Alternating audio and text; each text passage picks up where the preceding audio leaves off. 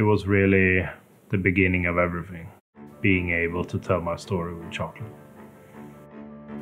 I felt the flow at all times. It really brought out the best in me. My name is Håkan Mårtensson. I'm a Swedish chocolatier, husband, and father of two. There's a lot of similarities on raising kids and building your business. You really have to nurture it from day one.